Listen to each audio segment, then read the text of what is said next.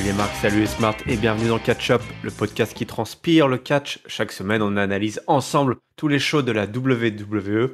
Aujourd'hui, direction le show rouge, le show amiral Monday Nitro. Nous sommes le 17 janvier 2022 à Tulsa, dans l'Oklahoma. Avec moi, pour m'accompagner dans cette analyse, j'ai tonton Chris. Salut tonton. Salut El Patron, salut peuple Catch-up, euh, bienvenue dans l'Oklahoma. Il y fait un peu plus chaud que dans le Nebraska de la semaine dernière. Ouais, ça se réchauffe, ça se réchauffe. Bah, c'est normal que ça se réchauffe parce que nous sommes à quelques encablures du Royal Rumble. Et oui, on posait les dernières pièces euh, avant le, ce grand, grand, grand événement. Et c'est Becky Lynch qui ouvre le show. Alors, elle, a, elle est applaudie, elle est huée. Becky Lynch, on, on adore la détester, hein, cette, euh, cette Irlandaise. C'est une des chouchous du public. C'est difficile de la détester complètement, mais bon, elle va faire du bon boulot un petit peu, essayer de s'attirer la hit. La semaine dernière, Doudrop est devenue la challengeuse numéro 1 pour le titre de championne de, de Raw pour donc, le match qui aura lieu au Royal Rumble. Euh, c'est l'heure des grands noms. Hein. On a déjà cité pas mal de filles qui se sont annoncées, des stars, des Hall of Famous qui vont s'inviter au, Royal Rumble. Mais le souci, c'est Doudrop. Là, c'est là le sujet. Et euh, donc, Doudrop qui a eu son titre grâce à qui? Bah grâce à Becky en fait. Eh oui, tonton, c'est Becky qui a fait en sorte que Doudrop elle ait, son, elle ait gagné son match de qualif, elle est intervenue dans le match et donc tout le mérite lui revient. Doudrop euh, qui débarque, je crois, à ce moment-là, ou c'est un petit peu plus tard? Non, oui, c'est à ce moment-là, je sais plus. Oui, elle arrive euh, à ce moment-là. Euh, donc elle dit, bah écoute, il n'y a pas de souci, ce soir, euh, toi et moi, on va. Enfin, Doudrop lui dit Mais écoute, moi j'ai gagné euh, euh, tout ce que j'ai fait. voilà, j'ai gagné sur, grâce à, moi-même et pas grâce à toi. Et puis s'ensuit un peu une, séquence de, de, porte de saloon, comme on aime si bien faire à WWE, avec Bianca Belair et également Liv Morgan qui débarque. voilà, ça s'invective, ça, ça se balance des mots doux. Et tout ça va nous bouquer un 2v2, Becky Lynch et Doudrop. Donc les deux européennes contre Bianca Belair et Liv Morgan, les deux américaines, dans un 2v2. Un, un match assez, assez, assez physique, assez rythmé, j'ai trouvé, où euh, les filles ont quand même pas mal donné de leur personne, avec euh, notamment Doudrop qui était au four et au moulin, Bianca Belair là, qui nous a fait encore une belle démonstration de, de, force. Elle a même tenté de soulever euh, Doudrop, mais bon, je crois que ce sera pour une prochaine fois. Ouais. Voilà, il faut procéder euh, step by step. Hein, on y va doucement mais sûrement. Liv Morgan, qui est toujours dans l'histoire, euh, pareil, qui, euh, déroule, qui déroule. Mais à la fin, Becky Lynch se tag et demande à, à Doudrop de partir. mais c'est Bianca Belair en profite pour mettre un gros dropkick. Morgan qui entre et qui attaque Becky Lynch. Et Lynch qui peut placer euh, son, sa prise de, finition, là, le handle slam, et Doudrop l'attaque, elle se tag elle-même et elle fait le tomber. Elle lui pique donc euh, tout le prestige euh, de la victoire. alors c'était un petit peu la confusion hein, sur la fin. On avait l'impression que elle avait tenté de faire le tomber, mais en fait l'arbitre lui dit mais non attends il faut T'es pas, t'es pas, t'es pas, euh, t'es pas la femme légale. Et c'était euh, à la fois un peu de la confusion, mais c'était plutôt, plutôt drôle où elle traîne comme ça Becky Lynch pour faire le tag euh, elle-même. Qu'est-ce que tu as pensé de ce match, tonton? Bah écoute, tout cet opener, c'est plutôt pas mal. La rivalité du moment euh, dans, dans, le main event féminin, euh, ouais, tout est, tout est plutôt euh, pas mal en place. Le tag team, il est assez convenu et quand on voit tout le monde arriver comme ça, on se doute bien que ça va se transformer comme ça. Mais moi, je trouve que ça marche plutôt bien. Becky, Becky impeccable. En plus, Becky maline pendant le combat, qui va, qui va éviter en fait pas mal de choses et va laisser beaucoup Piper Niven, enfin Doudrop pardon, bosser. mais le match en lui-même, finalement, ça dure 3 minutes quoi. Hein. C'est vraiment, euh, c'est hyper, euh, hyper rapide. C'est un peu ça qui me laisse un peu moi sur ma faim. Euh, pour l'opener comme ça, après un truc, une séance de promo comme ça, ils auraient pu mettre au moins un match de 6-7 minutes. Tu vois, ça aurait pas été un crime. Euh, donc je trouve que les filles n'ont pas été euh, trop gâtées là-dessus. Alors après, souvent, euh, parce qu'on se plaint souvent sur les rivalités des femmes, etc. Mais le rapport de temps d'antenne n'est pas le même pour les femmes que pour les hommes, souvent. Et donc c'est plus compliqué d'installer ces promos, ces, ces machins, démontrer un peu dans le ring qu'on est capable de délivrer la marchandise. Donc ça, c'est un petit peu ce que je regretterais. Mais après, c'est pas mal. Écoute, moi, pour le coup, les quatre me sied bien. Je, je trouve que c'est plutôt sympa. Alors moi, j'ai plus euh, le cœur qui va vers euh, Becky et Bianca en particulier. Mais, euh, mais je trouve que Liv Morgan bah, se débrouille bien et je trouve que pour Liv Morgan, en fait, c'est l'idéal ce qui est en train de se passer pour elle. C'est une configuration impec pour une jeune comme ça, quoi. Un truc à 4, où on se partage le micro, où il peut y avoir des différents matchs, des tag team, des 1 contre 1. Je trouve que pour elle, pour son apprentissage finalement, et bah, c'est plutôt pas mal. Et, et donc bah, j'ai plutôt, ouais, plutôt bien adhéré sur ce segment. Ouais, ouais, la promo, c'est vrai que le match n'était pas forcément à la hauteur de la promo où les filles sont quand même pas mal envoyées dans la. Bah ouais. C'était, voilà, c'était pas méchant, mais chacune se, voilà, se tire un peu la couverture à, soi et, c'est vrai que le match, quand bien même j'ai trouvé plutôt bon, c'est vrai que euh, bah, il était court, il était court, il était court et puis cette petite fin là était un petit peu étrange, on était un petit peu, un petit peu paumé. Mais voilà, je suis d'accord avec toi, c'est une bonne, euh, voilà, c'est team, on va en bouffer de toute façon là jusqu'au jusqu'au Rumble, c'est une configuration assez classique. Et voilà, on remet un petit peu sur le devant de la scène euh, les filles qui vont faire bah, voilà, les, les, matchs au Royal Rumble. Au passage, Becky Lynch a bouffé les fesses de Doudrop. Hein. C'est vrai. Ah, bon appétit. Voilà, bon appétit, bien sûr. on quitte la division féminine. Alors, il se passe pas mal de choses. Euh, c'est Kevin Owens qui euh, nous explique. Euh, alors, qu'est-ce qu'il y a C'est le Kevin Owens Show déjà? Je ne souviens plus que c'était déjà le Kevin Owens Show. non, non, c'est un petit peu plus tard.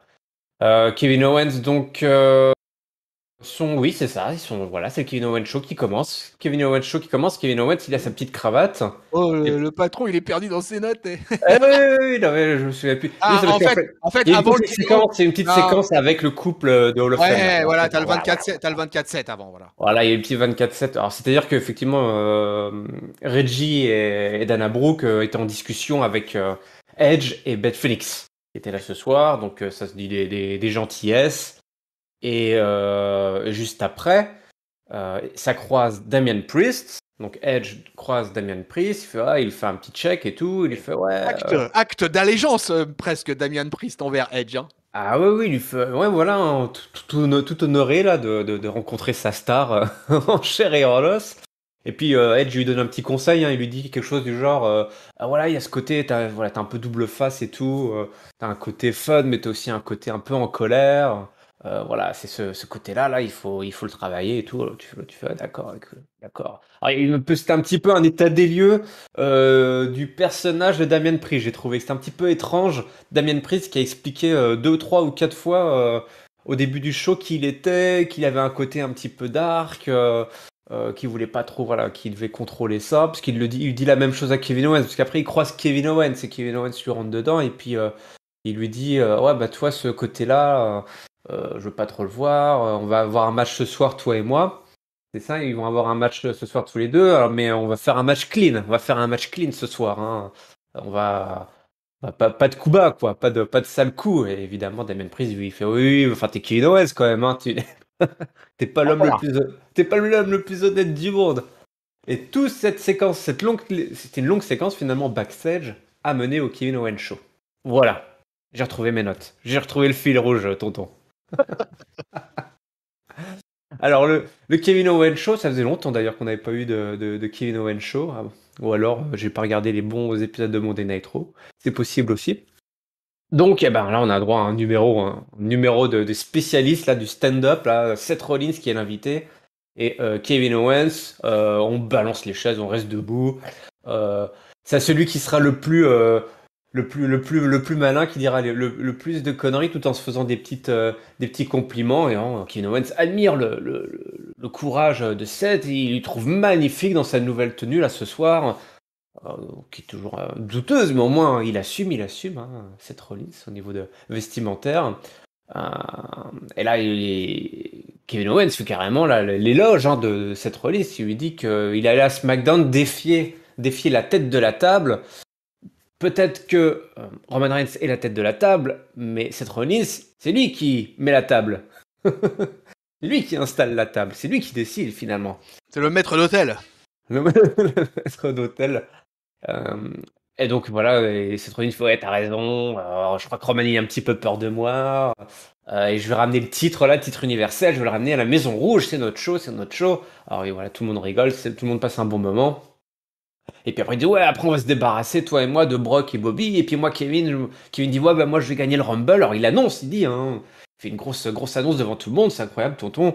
Kevin Owens sera participant au Royal Rumble. Et ça tu l'as pas vu venir, j'en suis sûr. Oh là, j'en étais très très loin là. Mmh. Moi, je pensais qu'il allait penser, participer au mondial de pétanque euh, de début février ou fin janvier, mais vraiment, le Royal Rumble, Kevin Owens, non, c'est pas possible. Ah, Kevin Owens euh, au mondial de pétanque, ça, ça serait un comptoir du catch intéressant à faire, là, tonton. en, direct live. Ah oui, carrément, oui. Du boulodrome de la canne-bière. Au peu cher. Chris débarque euh, de Marseille. il, fait, il, fait, la tronche. Euh, il nous dit voilà, Kevin Owens qui, va, lui promet de lui, botter le cul. Euh, personne ne croit que cette une puisse battre Roman Reigns. Kevin Owens, c'est un gros menteur. Et ce soir, eh ben, il y a match. Il y a match. Et donc, on a un match de Kevin Owens contre Damien Priest, mon tonton, évidemment. Contrairement à ce que Kevin Owens a annoncé, ça va pas être un match clean. Ça va pas être un match clean. Euh, puisque après s'être rendu coup pour coup, Kevin Owens feinte la blessure, il feinte la blessure, euh, l'arbitre euh, est quasiment prêt à arrêter le match et Kevin Owens en profite pour placer le stunner, le stunner sur le champion US pour le tomber 1 2 3 victoire du Canadien mon tonton. Quel filou celui-là alors. Et grosse, euh, grosse défaite pour Damian Priest, première grosse défaite pour Damian Priest. Hein. Il a invaincu en 2021, et là, il perd en un contre un face à Kevin Owens. Alors évidemment avec une filouterie de notre Québécois favori, mais euh, mais mais c'était bien. Hein. un match de 11 minutes, euh, là où j'ai trouvé que les mecs euh, voilà pouvaient s'exprimer. L'opener de départ, bah, le KO Show. Moi, je rejoins Trish Stratus hein, qui a tweeté après le Monday Night Raw en disant que bah, avec une image de Kevin Owens au micro et puis promo material, ben voilà, c'est ça qu'il est KO. Et c'est génial avec toute cette histoire de plans qui sont en train de monter avec le set freaking Rollins. Euh, du coup, tout ça, ça me plaît bien. C'est parfait. Derrière, on a un bon match de catch. Euh, donc, euh, vraiment, au top. Ouais, ouais, on, a bien rigolé. Ils ont passé un bon moment. Là, c'est bah, Rollins, c'est Kevin Owens, c'est un petit peu les. Et bah, comme l'a dit Trish Ratus, c'est vrai que c'est les, rois de la promo. Et c'était. On a eu pas mal de, promos ce soir. Hein. Les, les, gens ont tenu leur micro. On verra un peu plus tard. Certains même qu'on n'avait pas trop l'habitude de faire. Et effectivement, une première défaite pour Damien Priest. Mais voilà, il, faut le lancer dans quelque chose, hein, Damien Priest. Donc bah voilà, c'est via une, défaite euh, pas déshonorante hein, face à un Kevin. Non, non, non, non. Face à un Kevin, un ancien champion du monde, un peu, un peu filou. un, up mid quart d'heure, euh, hein, limite main eventer. On peut même dire un main eventer parce que si on compte là depuis euh, décembre le nombre de main events qu'il a fait à Monday Night Raw, sans compter les pay-per-view, Kevin Owens, il est quand même chaud bouillant en ce moment. Ouais. On est backstage. Il faut régler cette histoire là avec les filles, euh, Rhea Ripley et Nikki. Hum, alors, Rhea, elle reste, voilà, reste droite dans ses, dans ses bottes là. Euh, elle va pas se laisser euh, abattre par ce qui s'est passé, hein, l'horrible scission et les, mots durs qui ont été lâchés la semaine dernière. Et et donc après, Nikki fait un peu la même chose. Elle dit que euh, à faute de Réa s'il n'y a plus d'équipe et elle a, voilà, elle a balancé leur amitié euh, à la poubelle. Elle dit qu'elle est, euh, qu'elle est peut-être voilà, la, méchante de, dans, toute l'histoire, hein, dans, toute cette histoire, pardon, et qu'elle, elle, est l'héroïne du, peuple, mais que parfois les, super-héros doivent faire des choses que les, le, peuple comme nous, le, petit peuple, ne, comprenne, ne comprend pas. Et oui, ne comprend pas, et c'est ça qui est important, c'est que parfois les, c'est voilà, de, grands pouvoirs impliquent de grandes responsabilités, mon tonton. Ah bah oui, oui. Comme le dit le vieil adage. Ouais. On les retrouvera un petit peu plus tard. C'est l'heure de la cérémonie. Est-ce que tu as un diplôme, tonton? Est-ce que tu es diplômé? Euh, Ouais, ouais, ouais. oui, euh, je suis diplômé de. de... T'as téléchargé un truc sur internet, t'as fait un petit test, un petit quiz sur internet. J'ai une très bonne imprimante. il, a, il, a, tous les diplômes qu'il faut, euh, tonton. Exactement. Ah, bah, voilà, je, je, suis équipé, j'ai une imprimante parfaite et, euh, et ça, ça, quand j'ai besoin d'un diplôme, elle me le sort, mais facile, quoi. Juste un petit clic.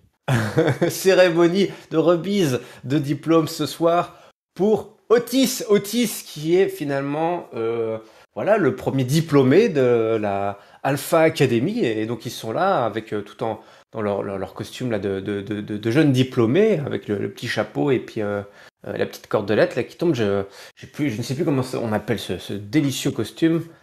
Ah, c'est ravissant et ils sont, ça, leur va, ça leur va bien, ça leur va bien. Et ils vont nous faire, écoute, Rouge, j'ai trouvé justement en parlant de, de, master, parce qu'il a son master, il a sa, sa, sa, licence. Hein, il, il, nous a fait une petite, ils ont nous fait une petite master de, de de, de, promo. Là, j'ai trouvé quand même euh, Chad Otis. Là, hein, je m'y attendais pas. Ils m'ont, ils m'ont bien fait marrer. Notamment, ils commencent parce que les, les, gens le, les U et, et Chad Gable leur dit euh, Don't boo education. Exactement, ouais. Ah, ça, c'était, euh, c'était formidable. C'est difficile. Il leur, avait, il, leur avait, déjà fait le coup la semaine dernière, déjà. Il leur avait déjà fait le coup, quoi, sur la, la, semaine dernière. Et, et, là, il le ressort, mais il le ressort pile poil comme il faut, quoi. Ah ouais. C'est l'heure de la célébration ce soir. On célèbre euh, Otis. Voilà, c'est un sacré morceau. Otis, un bon barbac. On n'imagine pas qu'il y en a autant dans la caboche. Eh ben si, il est, costaud, il est intelligent et il a son diplôme, le petit pompon. Et puis Chad Gable nous fait un beau discours, la petite, euh, bise sur la joue. Euh, voilà, la, parole est à lui. Et puis Otis nous explique voilà que grâce à, à Chad Gable et à l'Académie Alpha, il a pu atteindre son plein potentiel. Et maintenant, il nous prévient, on est prévenu que ça va être un carnage à tous ceux qui vont essayer de leur reprendre leur titre de champion. Donc voilà, on est, on prévenu. Et la Tipa qui débarque, c'est Riddle. Alors Riddle aussi, il est tout habillé en, jeune diplômé. Euh, donc il, il, fait des fouilles, félicitations autiste, euh, t'es bien habillé là, c'est un peu serré, un peu collant, mais ça te va bien. Euh, quand j'étais invité, je me suis dit que j'allais faire un petit, un petit discours et je l'ai écrit là sur, euh, sur, sur, la, nappe du buffet euh, du catering à l'arrière de, la salle. Donc félicitations hein, à, Otis. Il nous explique qu'il était avec Randy, voilà, ils, ont eu leur, bon moment. C'était des, deux jeunes euh, étalons sauvages qui couraient dans la pampa à travers la pampa de la WWE. Et aujourd'hui, bah, c'est un grand moment c'est un grand moment, c'est un grand moment pour, euh, pour lui de, de, voir Otis euh, comme ça euh, gagner, voilà, obtenir son diplôme. Bah, Gable, il fait Attends, mais t'es pas invité, voilà, il y a que des. Voilà, il, fait un peu de cheap, de cheap, un cheap shot, et puis Riddle dit Attends, mais je suis venu là en, bon ami, qu'est-ce que tu me veux tu dis, bah voilà, moi je sais ce que tu veux, tu veux un rematch. Mais tu sais quoi, tu sais même pas comment définir un rematch. Bref, il le prend pour un gros teubé. Il dit bah ok, il y a vous avez un rematch la semaine prochaine. Si vous réussissez, alors là tonton, je sais pas si, tu sais à quoi ça, en quoi ça va consister, mais un académie, euh, un Alpha Academy Challenge. Donc un challenge de, connaissances, euh, de connaissances euh, pointues hein, sur pour pour pour nos amis des Air Cabro qui les entendent la semaine prochaine. on a un gros zoom sur Otis avec la tête qu'il a tirée là, c'était très très drôle. Mais avant tout ça, un petit RKO au passage, et oui, euh, Orton était caché et euh, il place un RKO sur Gable. Orton euh, et Riddle prennent le petit chapeau, ils mettent le petit chapeau et ils posent tous les deux et rendez-vous est pris la semaine prochaine. C'est ça. Eh ben, c'était long, hein, c'était long, mais moi je me suis bien poilé. C'était, c'était un peu long, ça a un peu traîné en longueur effectivement, mais c'était plutôt globalement assez sympa. Euh, moi, j'ai trouvé que Chad Gable tenait super bien le micro, en particulier sur la première partie. Euh, que, euh, alors là, effectivement, on est dans un segment typique de culture américaine. Euh, avec tout ce que ça englobe, les cérémonies de remise de diplôme, etc., les tenues comme dont tu as parlé. Euh, mais finalement, ils se sont bien sortis, même si ça traînait un peu en longueur, c'était plutôt marrant. Après l'arrivée de Riddle, euh, tout le truc sur le fait que Riddle, il a qu'un neurone et que donc il peut pas comprendre ce qui est en train de se passer là. Et moi, j'ai trouvé ça plutôt sympa. Finalement, le RKO du Randy Orton sous les acclamations de la foule. Euh, tout ça, c'était plutôt, plutôt sympa, c'était fun et, ça passait bien. Un tout petit chouille de traîner en longueur, mais c'est pas bien grave. Non, pas bien grave. Moi, j'ai adoré, j'ai pris mon, mon vrai plaisir et, euh, et ça fait du bien de voir d'autres euh, voilà d'autres stars comme ça prendre le micro et délivrer des bonnes promos. Euh, Gable et Otis, ils avaient un timing là de la comédie qui était super. Gable, il a réussi à éteindre les watts, des champs watts pendant son discours. En, jouant sur la rythmique, en faisant en sorte que les mecs, ils n'arrivent pas à placer vraiment leur watts et du coup, quelques secondes, au bout de 15 secondes, ils avaient arrêté de watter alors que bah, tout était là, toi. D'habitude, c'est ce genre de, de, de promos sont facilement hackés par le public. Non, non, non, pas du tout. La Gable, il a, il a assuré et il a fait son, son discours et c'était, euh, franchement, c'est très très drôle. Moi, j'ai passé un, vraiment un super moment là avec, euh, avec les quatre zigotos. Euh, c'est bien, c'est bien, c'est bien ce qui, qui, Même Otis en est plutôt bien sorti et puis du coup, en, en, regardant un peu ça, je voyais en fait, Chad Gable et Otis, en l'occurrence, ils se connaissent depuis très longtemps. Euh, J'imaginais pas à quel point, en fait, ils se connaissaient. Ils se connaissent depuis la fac, les mecs, quoi. Et, euh, et, et, et, Chad Gable, sur son Twitter, il a ressorti pas mal d'images euh, de eux deux quand ils étaient plus jeunes et tout. C'est assez, assez, incroyable, quoi. Et, euh, et donc, c'est plutôt sympa d'avoir cette équipe-là. Euh, championne, qui tient le micro, euh, qui a quand même euh, là des les, former champions, donc des gros challengers quand même qui rôdent. Hein. Et puis et puis la, la, la tag team, la tag team de toute façon à Monday Night Raw, on va en parler un peu plus tard. Il y a du monde, il y a des équipes, donc c'est sympa là. Il y a, y a, une vraie animation dans la tag team division à Monday Night Raw. Ouais ouais ouais, exactement. Bon alors, on en reparlera tout à l'heure. Avant ça, on va parler de, de, voilà, ouais, c'était les montagnes russes, parce que juste après, il y a eu, bah, je crois peut-être mon flop de la semaine à chaque fois, mon petit flop habituel. Vince McMahon, euh, grabataire, hein, qui perd la oh là, là, oh là là là là, oh là, cette semaine là, c'est oh là là. Vas-y, je te laisse faire, mais. Euh, donc Vince c'est en train, voilà, euh, on avait des petites vignettes là de, de, de, de la victoire de Finn Balor, hein, ce qui a déplu évidemment à Vince McMahon. Austin Theory n'a pas été, n'a pas, n'a pas réussi à, à, battre, à battre Finn. Alors il se retrouve dans, son bureau. Hein. Il se retrouve dans son bureau et Vince lui dit, bah écoute, ce soir t'as intérêt à gagner. Euh, sinon, euh, eh ben, je vais te, je vais te, je vais tabasser quoi. Je vais te tabasser et puis euh, je vais, je vais, carrément te, te, te détruire, t'arracher les tripes, et il restera plus que du sang, et, et il restera plus que tes dents, et puis j'en ferai un selfie, et puis je l'enverrai à ta mère. C'est incroyable ce qu'il lui dit, quoi. C'est incroyable, quoi. Il lui dit qu'il fera traîner Théorie jusqu'à son bureau qu'il le laissera dans une mare de sang, de sueur et de morve. et qu'ensuite il prendra le selfie. Enfin, je veux dire, Waouh hein, On parle d'un type qui a quoi 74 ans, je crois? Ah, Il est complètement sur la touche, euh, la Vince McMahon. Ah, mais c'était malaisant, là, ce, segment-là. En plus, bon, je, sais bien, on kayfabe, etc., Mister McMahon et tout, mais hors kayfabe, quand même, quand on sait euh, aussi le personnage que c'est, les, voilà, tous les tout ce qui se passe en tant que président de la WWE euh, face à un jeune de 24 ans qui, commence hein, dans le business, hein, tu vois quoi. Et je, Enfin, moi, j'ai été. Euh, autant la, semaine dernière, bon, tu rigoles, un petit peu jaune, mais tu rigoles. Autant là, tu vois, j'ai trouvé ça euh, malaisant cette semaine. Ouais, ouais. Il y, a il y a une théorie. Il y a une théorie. C'est que Vince McMahon. Vince McMahon a peur de la mort. Ah. C'est Vince versus Death qui est en train de se jouer sur, devant nous. Vince, il a peur de la mort. Tu sais ce Est-ce que tu as entendu cette histoire des entraîneurs de NXT Quand Vince McMahon a repris la main sur NXT là, il y a quelques mois, il y a un ancien, un ancien entraîneur, je ne sais, enfin, je sais pas s'il est toujours actif, mais un entraîneur qui, dans une interview, a expliqué que voilà, il y a eu plein de nouvelles consignes. Alors, euh, du staff est parti, évidemment, il y a eu des remplacements, mais il a demandé à ce que tous les euh, entraîneurs, les coachs, euh, notamment, notamment se teint la barbe. Ah oui, c'est ah mais oui, c'est Scotty Tuoti qui a fait une interview là-dessus cette semaine. Alors oui, il a parlé d'ailleurs et il a demandé aux entraîneurs euh, alors pour les catcheurs de Stan Labarbe, ce qu'a fait Tommaso Ciampa en l'occurrence, qui est actuellement en dark match à SmackDown, et aussi il a demandé aux entraîneurs de se raser, de se couper les cheveux euh, pour paraître plus jeune. Pour paraître. Euh, c'est assez incroyable, ouais, assez incroyable. Et, et, je me dis, alors ça plus et quand je vois cette séquence-là, je me dis, mais le mec, il, se met quand même dans une espèce de, de, de, de storyline complètement naze, avec une des plus jeunes superstars de, du, euh, du, du, roster. Et il se remet dans son vieux rôle qu'il avait avant. Tu parlais de Mr. McMahon, donc euh, cette brute euh, cruelle qui était effectivement capable du pire.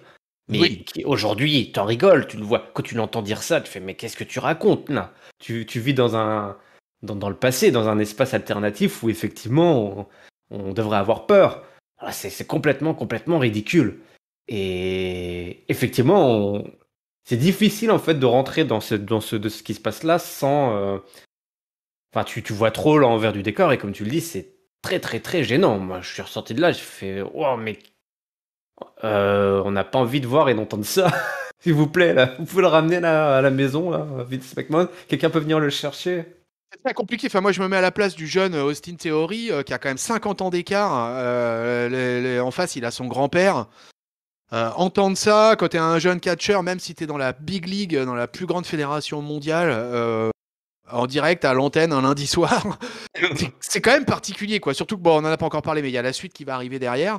Euh, et, je suis vachement partagé parce que d'un côté, Austin Theory, il a, euh, il a ce, droit ce segment avec le patron de la Fédé. Euh, du coup, ça lui amène des matchs, du temps d'antenne tous les lundis. Il va avoir, je pense, un bon ticket dans le Rumble. Euh, il est vraiment poussé et c'est pour ça c'est étrange parce que je me dis bah merde si Vince McMahon il fait ça c'est qu'il a il y croit en ce jeune. Et pourquoi euh, sortir des promos aussi malaisantes euh, après derrière? J'ai du mal à m'expliquer si pour moi il y a un problème de cohérence là dans cette histoire là mais bon. Bon écoute il y a un match qui a suivi un Finn Balor contre Austin alors là oui.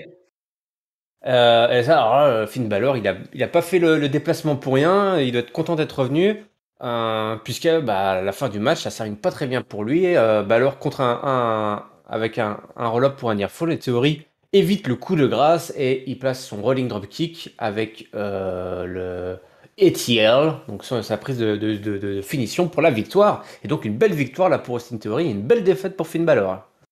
Finn, Balor vaut plus un clou et, de toute façon ça a été pareil, encore un truc annoncé dans les médias euh, de manière assez claire.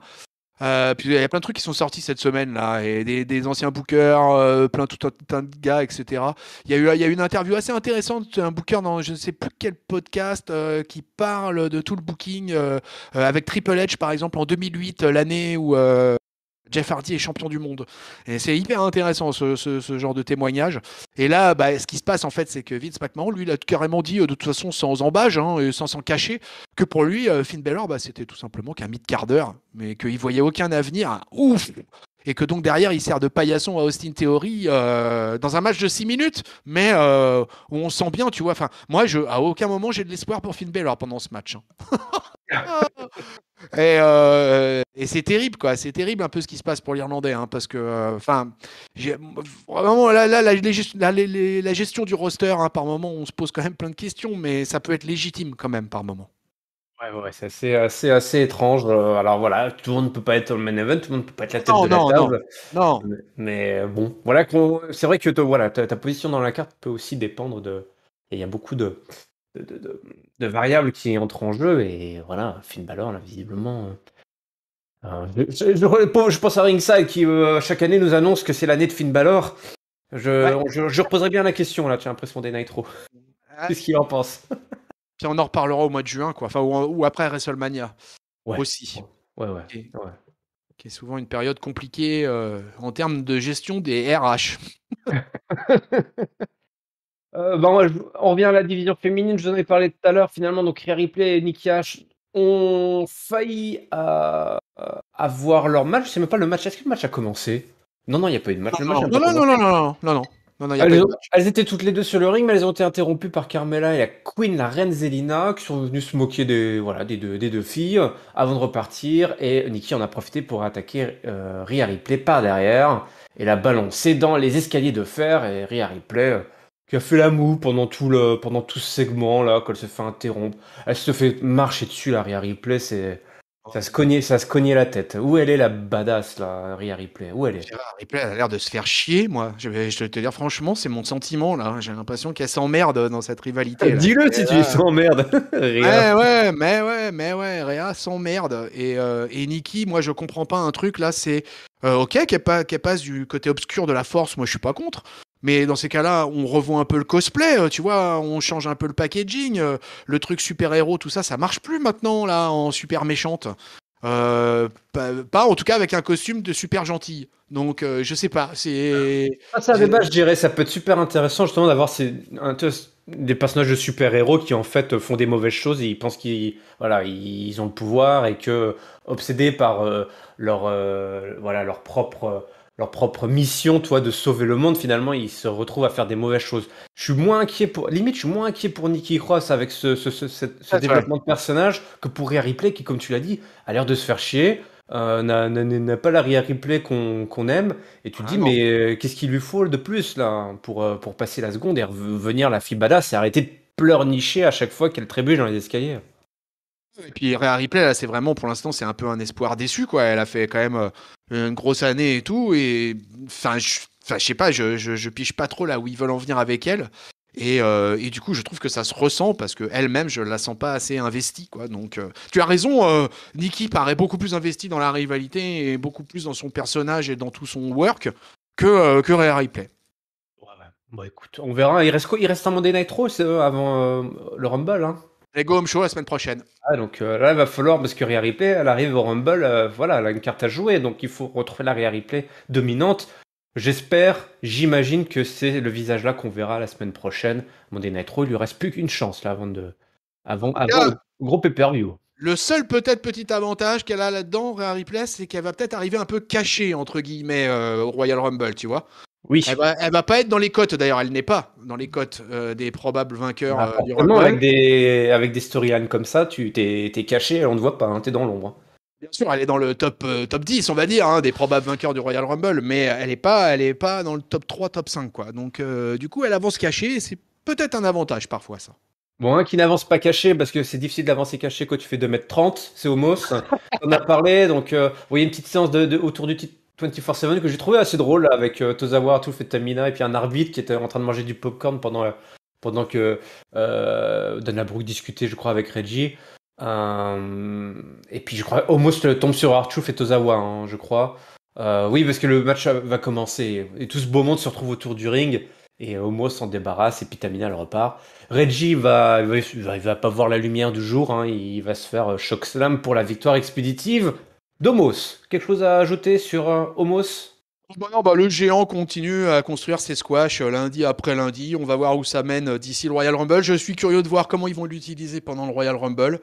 Et, euh, et, puis voilà, et puis le, ce petit segment 24-7 au milieu de tout ça, où oh, ça passait plutôt. Euh, J'en profite juste pour souhaiter un joyeux anniversaire à Artus qui fêtait ses 50 ans euh, hier au moment où on enregistre. Oui. qui fêtait ses 50 ans. Voilà, il est, il est un tout petit plus, plus jeune que moi de quelques mois. On, est, on a le même âge, mais on n'est pas de la même année. Mais euh, donc félicitations. Et euh, puis Juffero, on lui fait des bisous parce qu'en plus il a liké nos tweets et tout euh, hier. Donc c'était un bonheur d'avoir Artrousse en direct live sur Ad Catch Up CDC. Ouais, l'appeler Tonton Trousse. Tonton Trousse. Tonton Trousse. Ah bah voilà, gros big up. 50 ans, évidemment, il les fait pas. Il a trouvé la cure de jouvence. la fontaine de jouvence, le Archouf. Il rajeunit à chaque fois. Il rajeunit à chaque fois. Ouais, il est incroyable, il est dans une shape éblouissante. Maryse, Maryse, Maryse euh, a un mot oui. pour Beth Phoenix. Elle lui avait laissé un petit mot. Il s'était passé beaucoup de choses backstage au début du show, je vous l'avais dit. Il y avait notamment euh, une invitation euh, de la part de Maryse. Elle a invité Beth Phoenix à venir discuter de femme à femme, voilà, d'une à une, au milieu de la foule de 30 000 personnes, évidemment.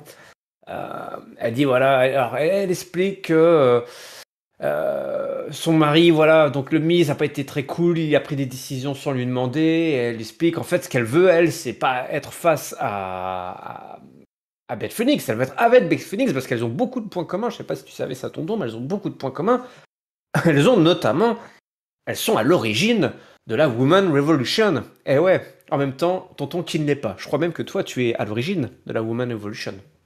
On en a longtemps parlé, ça a été longtemps caché. Et puis finalement, Dave Melzer a, a sorti euh, le poteau rose, euh, ouais, effectivement, il y a quelques mois, donc j'avoue tout. Et voilà, voilà. Bah, et il suffit d'écouter le comptoir euh, du catch dédié à la division féminine, l'histoire des divisions féminines, pour savoir que c'est bien tonton qui est derrière tout ça. Evan Phoenix, elle dit bah, écoute, qu'est-ce que tu racontes là? J'en crois pas, j'en crois pas une miette de, de, tout, de toutes tes histoires. Euh, moi, je, sais, tu, fais comme ton mari, parce que les leçons que tu retiens, c'est celles euh, du Miz. Et euh, Beth donc entre dans le ring. Miz essaye d'attaquer Edge, il était caché le filou avec une petite capuche là, tout en hoodie noir. Euh, Beth Phoenix se fait, se fait distraire et Maryse en profite pour lui donner un énorme coup de sac à main. Je dis, voilà, qui l'étale, qu'est-ce qu'il y a Qu'est-ce qu'elle a dans son sac à main, la, la québécoise Et il se révèle qu'il y avait une brique de chantier, tout simplement, un parpaing. Un parpaing dans le Ah. sac à main. Et oui. Et donc, bah forcément, se prendre un parpaing euh, dans les dents, euh, même, même côté la Amazon, ça fait mal. Là. Il y a quelques chicos qui ont dû voler. Ouais, bon, c'est par Maris, quoi. Un Maris vaut bien une brique, hein. Franchement, euh, quel, quel avion de chasse, ma- cette Marise. Oui, excusez-moi. Euh, Quand même, le mi- La Woman Evolution, on vous dit, hein, ça Ah. vient de tonton. Ouais, ouais, ouais, ouais, ouais, ouais, ouais. Là, ben, c'est sûr que Maryse est un, et, et- comment dire, un reliquat un petit peu euh, de la période des divas, quoi. Mais euh, c'est une super actrice. Et, euh, et elle est super. Moi, j'ai trouvé c'était assez génial, hein, tout ce segment. J'ai bien aimé, en fait, tout le discours qu'elle tient euh, à Bess, etc. Surtout que ça collait total- totalement avec ce qui s'était passé la semaine dernière, donc on avait reviewé ensemble déjà. Donc, euh, tout ça, moi, j'ai trouvé ça plutôt sympa. L'intervention de Edge. Euh, et puis après, la grosse rigolade euh, du Miz and Mrs. euh, sous le titantron euh, avec la brique, etc. Avec le Miz qui faisait des bisous à la brique et tout. C'était. Moi, je trouve que c'est une, une, une chouette guerre de couple. euh, qui me m'enthousiasme beaucoup plus que par exemple celle de l'époque avec Sina et euh, Nikki Bella, tu vois, qui m'avait un peu euh, un peu saoulé. Euh, là, eh ben, celle-ci là, moi j'a- j'adhère plutôt, je trouve ça plutôt sympa. Et, euh, et je suis curieux de savoir ce que ça va donner avec euh, Bess Phoenix euh, dans le ring. je suis curieux de voir un peu qu'est-ce qu'elle a gardé un peu. Et parce que pour l'instant, on en a vu que très très très très très peu. Mais, mais et même Maryse à la rigueur, qu'est-ce qu'elle a encore euh, dans dans, dans, le, dans le ventre sur Ah ouais. le ring, ça c'est un truc à voir. Mais puis mais sinon, écoute, euh, non, je suis plutôt, euh, j'adhère plutôt facilement à cette euh, à cette rivalité là. Et puis puis voilà, le dernier truc, c'est que bah, quand même, je crois que je l'ai déjà signalé, mais c'est toujours incroyable. hein, c'est un personnage qui reste complètement ill depuis le début de sa carrière, n'a jamais turné. Et même son mari, lui, a tourné à quelques occasions, etc. Mais Maryse, non, elle reste dans ce personnage. Et, et je trouve que, bah, elle, elle délivre. Elle délivre, elle délivre. Ouais, tu l'as dit, elle a, fait une belle, belle promo au micro. Bah, toi, je disais, il y a eu pas mal de belles promos, je trouve, au micro par des gens qu'on n'entend pas forcément euh, bah, toutes les semaines. Et effectivement, elle était plutôt bien construite, sa promo, parce qu'au début, on sentait vraiment, comme tu l'as dit, c'était assez. euh, c'était, euh, c'était, vrai ce qu'elle disait, dis souviens-toi, voilà, les matchs de deux minutes de filles, alors ça me fait marrer parce que, voilà, on en a parlé, ça c'est pas forcément tout le temps changé, ça, mais il y avait une belle construction dans sa promo, et à la fin, bah, à la fin, le parpaing, et le parpaing, là, voilà. Donc, Maryse, comme tu l'as dit, il depuis toujours, il toujours, il un jour, il toujours. Division tag team, tonton t'a dit qu'on était gâtés. Ben oui, et ben Ouais. ce soir, on fait l'inventaire. On ouais. fait l'inventaire, tonton. Allez, c'est l'heure de Ah, l'inventaire. Tu sais commencer tous les ans pour faire l'inventaire au magasin, au Ah studio ouais, on- Ketchup. On se lève Les tôt. street, les street Profits, check. Rey Mysterio et Dominique Mysterio, Los Mysterios, Bam. check. Les Dirty Dogs, check. Bam. Et euh, Nigerian Mafia, Bam. check. Cruz et les Coronado Aziz qui se retrouvent dans un, dans un match ce soir après s'être un petit peu ambiancé là, les Mysterio et les Street Profits parce que euh, bah, ce soir ils vont au Rumble et ce soir ils sont ensemble, hein. les gentils contre les méchants. Classique. C'est ça. Un match euh, tout à fait, une configuration tout à fait classique à l'approche euh, du Rumble. Euh, voilà, donc tout le monde, a, tout le monde a, a bien déroulé. Il y a eu des contres, des Hurricane Rana dans tous les sens. un- Il y a eu de la brawl.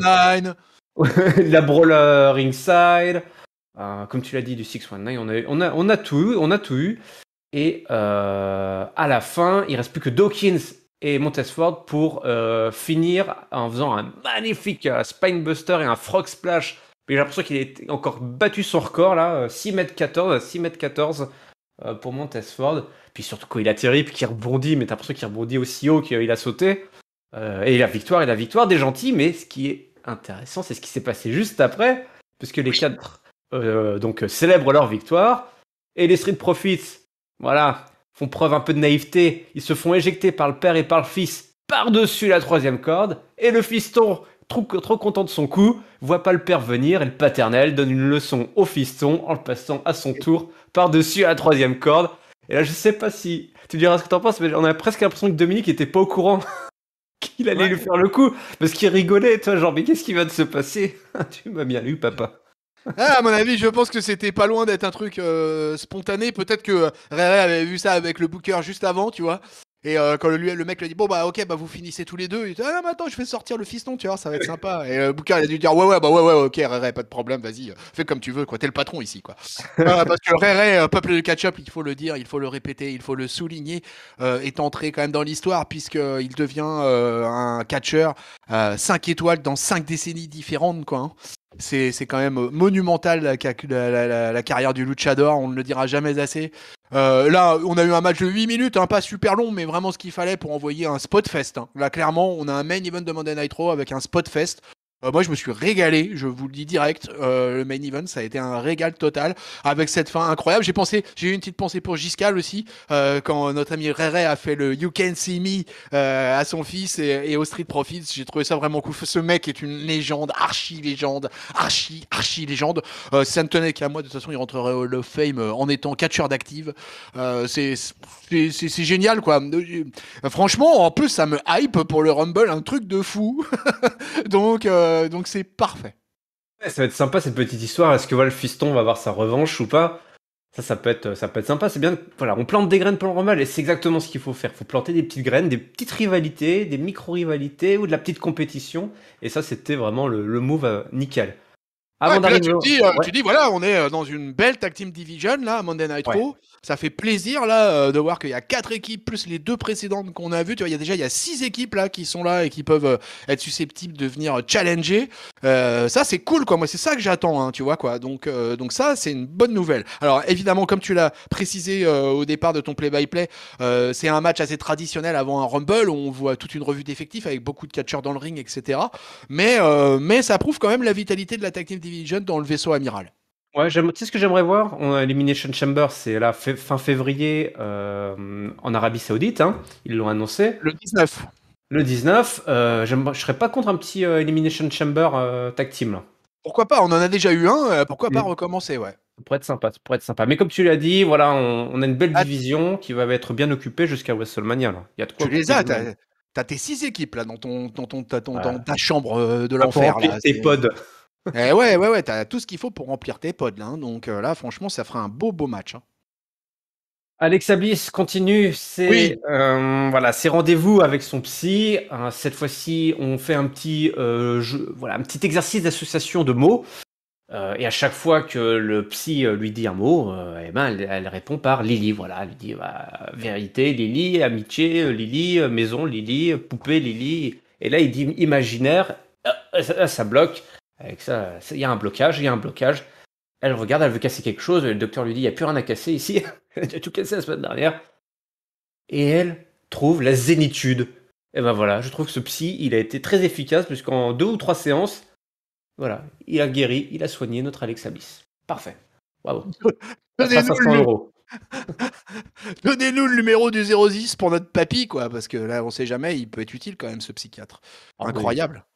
Ah, Alexa Bliss, ça fait le buzz en tout cas en attendant. Euh, moi, je suis pas euh, super euh, fan pour l'instant de ce qui se passe, mais en tout cas, elle, de son côté, t'inquiète que la gamine, elle sait gérer son affaire et, elle fait un gros buzz sur les réseaux sociaux avec ça. là, elle vient de sortir apparemment une, une séance de photos, pas possible. Là, j'ai pas encore eu, le temps de voir ça, mais il y a déjà 50 000 notifications sur Alexa Bliss. Il y en a une qui sait bien gérer sa carrière extérieure ring, c'est bien Alexa Bliss. Hein. Et euh, on l'avait dit, je sais plus si je crois on l'avait dit, hein, la semaine dernière, qu'elle euh, avait, elle a terminé quand même l'année 2021 en quatrième position des meilleurs ah vendeurs de merch euh, de la WWE, donc c'est pas pour rien. Donc même si je pense le segment, tu vois, nous va peut-être pas forcément nous emballer ou quoi que ce soit, etc. Je pense que sur sa fan base, si tu veux, tout le monde est tellement impatient de la revoir véritablement dans le ring que il y a pas de problème, ça marche quand même, quoi. Ah oui, bah c'est-à-dire qu'elle a clairement une, une part de l'audience de WWE rien que pour elle, toi. C'est ce genre de, de, de, catcheur qui vampirise euh, complètement une partie de l'audience et du coup, bah, qui ramène du cash, du flow, du beef à la WWE. Et donc, on garde, ça on garde, ça on jette pas, on conserve. Tu m'étonnes. Bon, allez, c'est l'heure du main event. Bobby Lashley contre Seth ah, euh, ah, excuse-moi, c'était, c'était juste parce que c'était l'occasion, après ce que tu venais de dire, de ah. glisser euh, l'anecdote. Ah, de me euh, glisser un petit billet, c'est ça Tu veux faire un petit billet Vas-y, vas-y. bah, Merde, c'est toi le patron, c'est toi normalement qui devrait me glisser des billets. Hein. non, mais c'est juste que je voulais rebondir sur ce que tu disais sur Alexa Bliss avec le merch. Parce que, en fait, l'histoire de 2008 avec Triple H, bah, c'est exactement lié à ça. C'est-à-dire qu'il y a un booker qui a proposé la victoire de Jeff Hardy en 2008 en disant ouais il est super hype et tout ça. Il y a une réunion machin des bookers avec Vince McMahon, grand silence quand le mec expose son, son idée de booking et tout et tout. Triple H là-dessus, il rentre dans le bureau de réunion et euh, il dit mais c'est pas possible, vous allez pas donner le titre à ce gars-là, il est pas fiable. Euh, il y, avait déjà des problèmes hein, avec euh, Jeff Hardy à l'époque, hein, de drogue, d'alcool et tout.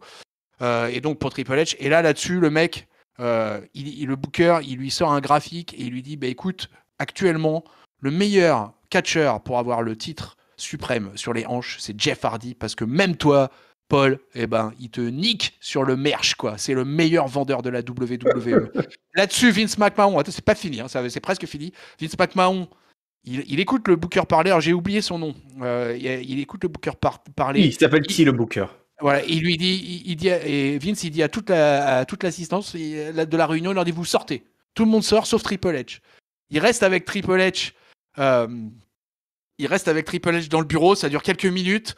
Au bout d'un moment, Triple H il sort du bureau et là le booker il explique, il dit bah là quand j'ai vu Triple H, je savais qu'il allait se passer deux choses parce que Triple H il est passé devant lui, il lui a pas jeté un seul regard et donc je savais que Triple H dorénavant c'était mon ennemi et la deuxième chose c'est que je savais que, c'est que mon, mon idée était validée par euh, Vince McMahon et Jeff Hardy devient donc champion du monde à cette période-là aux dépens de Triple H.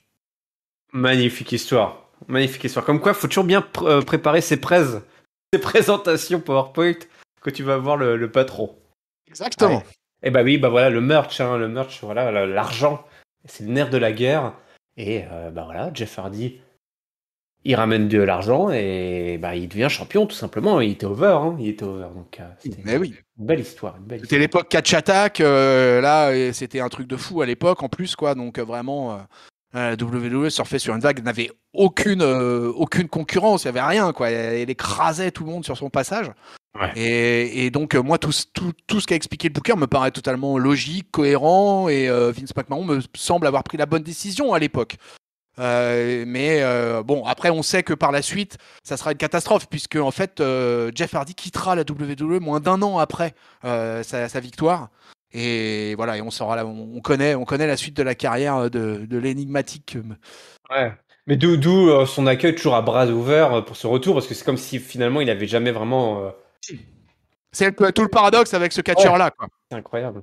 Incroyable. Il est parti au firmament, quoi, hein, de, de, sa carrière à WWE au moment où il avait enfin touché les étoiles grâce à une petite présentation d'un petit booker qui a osé tenir tête à Triple H. Voilà. Bravo, c'est beau, c'est beau, c'est beau. Bon allez, deux qui se tiennent tête ce soir, c'est Bobby Lashley et Seth Rollins. Ils sont dans notre main event. Écoute, c'est un petit goût de match de pay-per-view qui aurait dû avoir lieu, mais en fait non, parce qu'il y en a un, un certain Samoa qui a chopé le Covid. Et du coup, on a un peu changé tous les, tous les, tous, les programmes, et du coup, on se retrouve avec un Bobby Lashley contre Seth Rollins.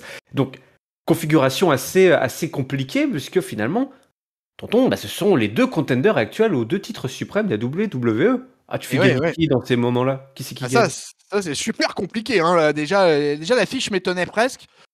Mais c'est vrai que, ouais, qu'est-ce qu'on fait Qu'est-ce qu'on fait dans ces cas-là? Et moi, je pensais à deux choses, hein, de toute façon. C'était l'ADQ ou euh, le, le, double count-out. Ouais, ouais, évidemment, ça peut pas se terminer complètement clean, hein, cette histoire. Euh, bon, voilà. on a eu un super package vidéo. sur la carrière de Bobby Lashley et de Brock Lesnar. Ça a duré 20 minutes. C'était un film hollywoodien. Bah ouais.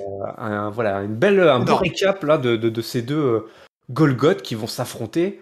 Ah, c'était, euh, ouais, ça m'a bien dedans moi. Et puis on voyait, enfin Bobby Lashley, moi, ah, il me fout la banane, hein, l'impression qu'il revit complètement là depuis qu'il sait qu'il va avoir son match contre la bête.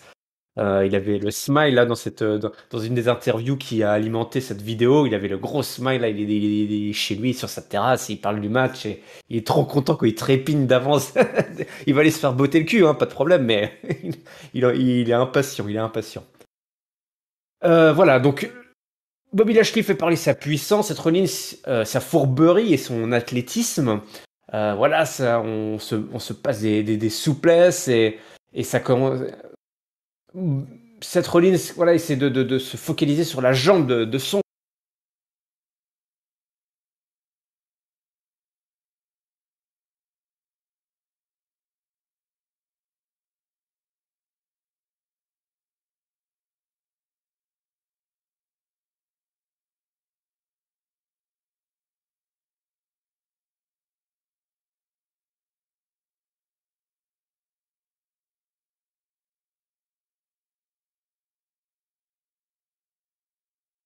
rival, allez là, qui débarque et qui attaque Bobby Lashley, disqualification, pendant que Seth Rollins admire le travail, il voit pas venir qui, il voit pas venir qui, les Housseaux, les Incous, les frangins, les jumeaux, qui viennent placer leur double super kick. Tout le monde en a eu pour son argent, tout le monde a bouffé ses dents. Quel main event Et c'est à vous la parole, tonton. Bah, ouais, comme tu l'as dit, un hein, quel main event quoi. Là, on a vraiment, on a deux, deux mecs là au palmarès long comme le bras. Euh, et puis je reviens sur euh, le, fameux package vidéo dont tu as, parlé là. Incroyable package, mais c'était génialissime quoi. Hein. On avait l'impression euh, là de, voir un truc. On nous annonçait le prochain championnat du monde poids lourd de boxe. c'était waouh, waouh, waouh, waouh. La W de toute façon, elle sait faire. Hein. Elle est, elle est, c'est une pro hein, là-dessus quoi. très franchement, tous les trucs. Moi, je regarde les, la série Ruthless Aggression les documentaires 24, Chronicle, tout ça. Euh, vraiment, la WWE a un savoir-faire que je vois quasi nul par ailleurs à ce niveau-là. Et c'est vraiment, c'est formidable, quoi. C'est vraiment là, ce package là, mais c'est un truc de dingue, quoi. Pour quelqu'un qui connaît pas le catch, euh, qui ouvre avec ce Monday Night Raw et qui tombe sur ce package là, il se dit, mais wow Je peux pas oh. louper ça. ah ouais, mais il faut que je voie c'est quoi les deux Golgoth là, monstrueux. Il faut que je sache comment ça se passe, quoi. Enfin, je veux dire, euh, la hype est là et derrière, gros match. Donc, comme on l'a dit au départ, très très compliqué puisque tu peux pas donner une victoire clean euh, dans un match pareil. C'est pas possible, quoi. Donc, euh, donc du coup, bah, les mecs ont, quand même sorti ce qu'il fallait. Et puis, ça s'est fini. Bien 13 minutes 17 hein, le match. Hein. Ça se termine sur une DQ, belle intervention des Ouzo, euh, qui était, euh, j'ai bien aimé euh, le, t-shirt avec la tête de Eman barré dessus, les chaussures, la, comment dire, la tenue en, raccord avec les couleurs de Monday Night Raw. Bref, c'était, c'était nickel, c'était bien, c'était bien ciselé. Donc moi, ça, ça, ça m'allait très bien Monday Night Raw qui se terminait de belle manière. Les Ouzo qui ont bien vendu aussi, hein. on parlait de merch, ils ont bien vendu les t-shirts. Bah là, je pense qu'ils vont en revendre autant, mais avec la version avec effectivement la tronche de Polémon barré, bah voilà. Ah, faut pas s'embêter, hein. Faut pas, ah, bah faut pas réinventer l'eau chaude, pas réinventer l'eau tiède. Quel main event pour terminer donc ce Monday Night Raw. Mon tonton, c'est l'heure du mot de la fin. Si tu veux bien nous partager ton top et ton flop et ta note pour cet incroyable épisode du show rouge. Ah bah écoute, c'était plutôt pas mal, on est plutôt gâté, mon bon patron, en ce moment, mhm. je trouve. Hein. La semaine dernière, on avait une belle note déjà. Et, euh, et, bah là, écoute, alors, euh, moi, euh, mon flop, mon flop, il va aller. Ah, j'ai un, j'ai un doute de l'avoir fait la, semaine dernière déjà. Mais enfin, moi. Oh, non, vas-y, pourquoi je me ferais. Je fais une review avec le patron, du coup, je vais donner mon flop au patron, mais au patron de la WWE pour cette euh, malaisante promo face à Austin Theory. Euh, j'espère quand même que quelqu'un osera lui dire pendant la semaine que ça serait bien de ne pas répéter cela tous les lundis.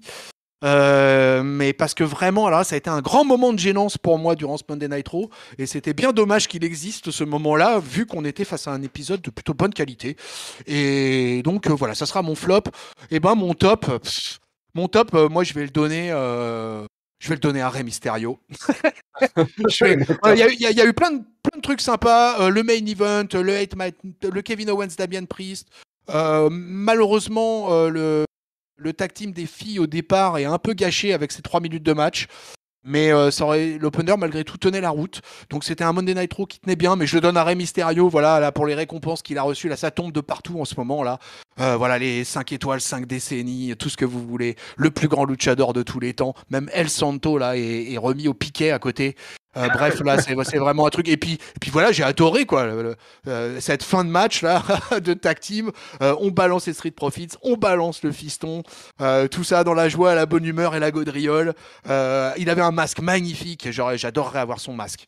Euh, il avait un une super tenue, euh, euh, cette semaine-là. Et euh, donc voilà, donc j'aime tellement cet homme. on a le même âge, lui aussi. je suis un petit pareil, plus âgé que lui. Ah bah attends, le tonton, il a le même âge que tout le monde. Ouais, ouais, ouais, le hasard fait que. Mais il est un petit peu plus jeune que moi, par contre, Réré, parce qu'il doit avoir 48 ou, ou 49. Et, et, mais je veux dire, si tu veux, je suis attaché à lui parce qu'en fait, je, je le suis depuis le début. Et, et vraiment, du coup, depuis le début donc vraiment, c'est vraiment un, des catcheurs. Non, il est 74, il a 47 ans, euh, notre ami, euh, notre ami Réré, quoi. Et, donc vraiment, ouais, ouais, là le voir là comme ça, ça m'a fait plaisir. Et puis bah ma note, alors c'était un petit, un, petit ton en dessous euh, de la semaine dernière. beaucoup de promos comme tu l'as signalé, justement signalé. mais je vais lui, ça, ça reste un pour moi assez solide. Et je vais lui donner un 3, un bon 3. Oui, d'accord, ok, ok, ok. Bah écoute, j'ai trouvé aussi cet, euh, épisode très très solide avec plus de place que pour les promos, mais c'était pas pour me déplaire parce que j'ai trouvé qu'ils ont. euh, tout le monde a été excellent, on on va dire entre bon et excellent dans ces promos. J'ai pris beaucoup beaucoup de plaisir moi à toutes ces interventions euh, entre chaque match et en plus entre les cordes on a, on a, on a, on a délivré la marchandise. Alors certes avec un peu de frustration parfois comme cet opener euh, chez les filles, mais euh, bah écoute franchement toutes les toutes les cases ont été cochées ce soir. hein. Donc moi je vais rester sur la même note que la semaine dernière. Alors on l'avait bonifié parce que c'était un épisode spécial. Donc là je vais pas le bonifier, je vais à 3,75 pour moi. Oh ouais Euh, ouais, ouais, ouais, ouais, franchement, j'ai trouvé que c'est un très très bon épisode. j'ai passé, j'ai passé, j'ai passé un excellent moment, hein, tonton, vraiment, vraiment, là, je, je, je tiens à le dire. Pour autant, donc mon flop, et ben mon flop, je vais être comme toi, je suis désolé, hein, mais c'est pas possible, là. Vince McMahon, ça c'était honteux, ce- pour moi, là, ce. Mais là, de patron à patron, euh, voilà. Oui, il le sait, il le sait en plus, de toute façon, il le sait. À chaque Vous fois allez- qu'il fait ça, il le Quand sait. vous, quand vous vous retrouvez aux réunions euh, du MEDEF, là, euh, bah écoute, moi je pense qu'il faut que tu lui en parles. Ouais, CAC 40 du, du, du monde du catch, là, il est là, il, je suis là, et il me regarde pas, hein, il, il me regarde pas, il ose pas, parce qu'il le sait, il le sait, il le sait, il me l'a dit, il me l'a dit. Puis il n'y a pas besoin de me le dire, il n'y a pas besoin de me Tu, le dire. tu- tu le vois dans ses yeux. Eh oui, je le vois. Mais bon, il s'obstine. Voilà, c'est comme ça, les personnes âgées, euh, elles s'obstinent, elles s'obstinent, elles restent coincées dans le passé. Bon, on le changera pas, hein, on le changera pas, ça, on le changera pas. Et mon top, et ben mon top, je vais le donner à euh, Gable et Otis. J'ai trouvé excellent, ça m'a fait plaisir, j'ai passé un super moment dans leur promo. Là, j'étais euh, plié, quoi. Vraiment, voilà, ça fait plaisir de voir tous ces catcheurs là, prendre, prendre 5, 10, 15 minutes à faire des, bonnes promos. Bon, bah voilà, tonton, je trouve qu'on a eu un, bon épisode d'Euro, là, à l'approche de- du Rumble, là, dans 10 jours. Ça, va arriver vite, hein, finalement. Ça va arriver vite, finalement. Ah, mais Monday Night Raw, hein, depuis, euh, depuis le début de l'année, même depuis euh, la mi-décembre, là, ça va quand même beaucoup mieux. hein. Ils ont largement redressé la barre hein, au, vai- au vaisseau amiral et on est sur une suite de, bonnes notes pour le show. Globalement, on s'ennuie pas, il se passe des choses, il se passe des choses dans la Tag Team Division, euh, le main event est animé, donc ça va. Le titre US est là, défendu, le titre intermédiaire a de l'importance à la différence de ce qui se passe à SmackDown avec le titre intercontinental. Donc euh, c'est plutôt, euh, plutôt agréable quoi euh, quand ça se passe de cette manière-là. Très, très agréable. Et tu sais ce qui est encore plus agréable, c'est de s'abonner à Catch-Up pour ne manquer aucun épisode. C'est évidemment votre podcast qui résume et analyse tous les shows de la WWE hein, chaque semaine. Et pas que, on vous a déjà livré toute une plâtrée d'épisodes spéciaux entre les comptoirs du catch, nos awards évidemment. Voilà, on a eu pas mal, je sais que vous êtes nombreux à avoir apprécié tous ces épisodes spéciaux, notamment celui dédié à la AEW au plus grand malheur de Oui. Papy, qui devient fou à voir euh, les statistiques exploser pour euh, le compteur exploser pour euh, le comptoir du catch spécial AEW. Ben oui, Papy, hein, c'est comme ça, va falloir t'y faire. Et oui. Les, les vieux ne veulent pas changer, je te l'ai dit. Oui, je te l'ai dit. Pour ne Hey manquer aucun épisode, ouais, tu veux me dire quelque chose, t'entends Non, non, non, non, non, je, j'acquiesçais à ce que tu disais. Ah d'accord, tu fais des petits cris, des petits cris. Voilà, des petits cris. Ça se passe sur PodCloud, Google Podcast, Apple Podcast, Spotify, Deezer et évidemment YouTube. N'hésitez pas à mettre en commentaire de la vidéo votre top, votre flop et votre note. Dites-nous ce que vous avez pensé là de cet épisode de Monday Raw. Les liens vers les réseaux sociaux, Catch-up CDC, Twitter, Instagram et Facebook et évidemment notre Discord. Le lien il est dans la description. Je te remercie, tonton, pour ta présence. Oui, bah écoute, c'est moi qui te remercie pour ce hosting de qualité. Euh, dernière petite info, c'est te donner euh, le euh, ratings euh, de ce Monday Night Raw. Parce que tu sais, tu sais, toi tu ne le sais que trop bien. D'ailleurs, il y avait la wild card de la NFL cette semaine. Et donc, euh, pour Monday Night Raw, c'était attention, danger Et en fait, ils s'en sortent pas trop mal parce qu'ils font 1 613 000, donc ils restent stables. Euh, malgré, il y a le match de la wild card, je crois, a fait euh, presque 9 millions euh, de, de, de- de vues, quoi, donc truc de fou. Mais du coup, en fait, ça reste stable à Monday Night Raw, donc ça rejoint certainement ce qu'on dit. Alors, c'est toute la différence avec Catch Up, par contre, c'est que à Monday Night Raw, en fait, ça reste stable pendant qu'à Catch Up, en fait, ça explose les compteurs. Donc, euh, les ratings grimpent, grimpent, grimpent. Peuple de Catch Up, continuez les commentaires, continuez à aller écouter nos comptoirs du catch, vous allez voir là, c'est le feu. Il faut continuer, il faut y aller. Et ben justement, nous on y va, hein. c'est l'heure de se quitter. On vous donne rendez-vous très très très bientôt pour la suite euh, et l'analyse notamment de SmackDown. Et d'ici là, on vous souhaite évidemment à toutes et à tous une bonne semaine pleine de catch. Salut, salut. Salut patron, salut peuple de catcheur